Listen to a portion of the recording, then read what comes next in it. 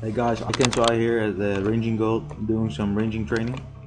Um, got a little tip for you guys. Um, ranging Guild offers you a special mini game which allows you to shoot at some targets. Um, it lets you get some tickets which you can then um, trade in for rune arrows. At 2k tickets you can buy 50 rune arrows and they are um, infin infinite stockable so you can keep buying them. And you get about 5 five um, experience points per 10 um, score you get on the board. So that's pretty pretty good XP. Basically, the XP you get is your score, um, well put to half. So that's the that's the XP you get. Um, great lot of, of progress for now. Um, got full void and some ranging levels.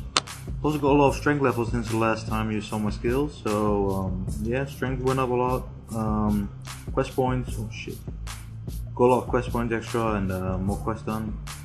Currently working on getting enough money to buy food to, I mean, uh, raw food to cook for 7 cooking, so I can go on with my Recipe for Disaster adventure.